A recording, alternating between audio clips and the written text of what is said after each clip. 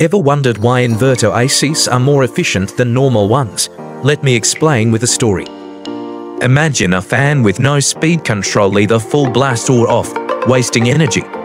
Add a regulator, and you can adjust the speed to your perfect level.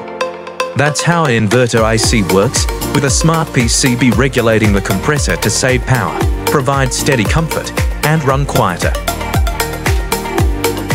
Normal ACs have frequent on-off cycles, causing uneven cooling and discomfort. Inverter ACs, however, adjust the compressor speed to maintain steady, comfortable cooling, ensuring a more consistent temperature and better comfort. Normal ACs are cheaper but use more energy, are noisy, and wear out faster. Inverter ACs save 30 to 40% on energy, are quieter, and last longer, but cost more upfront and have pricier repairs. Subscribe to Wonderwire for more videos.